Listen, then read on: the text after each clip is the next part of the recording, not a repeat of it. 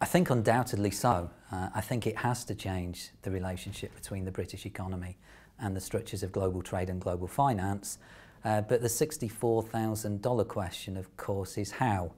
Um, and nobody knows. I certainly don't.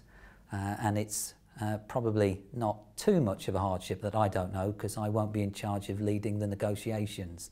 Uh, but even those people, they don't know either.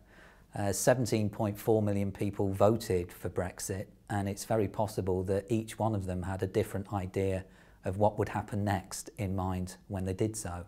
Change is inevitable from this position, uh, but how that change will be enacted and how it will be institutionalised uh, is anyone's guess. It's one of the peculiarities of a referendum campaign, of course, that however passionately you argue against the status quo, there's absolutely no responsibility on you to be able to say what you're going to put in its place if the status quo falls. Uh, and that's the situation that we would seem to have found ourselves in now. So we do know that change is coming and change will take place uh, against the backdrop, I think, of lots of important economic interests lobbying for as little change as possible. If we imagine the position that British firms are in, certainly British firms that export, the key export market for Britain remains the European Union. Um, so there's an incentive there for uh, lobbying from firms uh, to try to make sure that nothing much changes. Um, if we think of lots of uh, overseas firms that are now located in the United Kingdom through the process of foreign direct investment, well, a lot of that uh, investment activity was conducted on the assumption that this was a way to buy access to the European single market with all potentially half a billion consumers uh, there. I'm sure there's lots of people who uh, own those firms who are wondering what's going to happen next, whether they will be locked out of free access to the single market. And in those circumstances, are they likely to put the needs of British workers or the needs of their own shareholders first? Also, uh, the banks have been vociferous uh, already, um, asking that the um, EU-wide banking passport be maintained for all banks operating out of the City of London.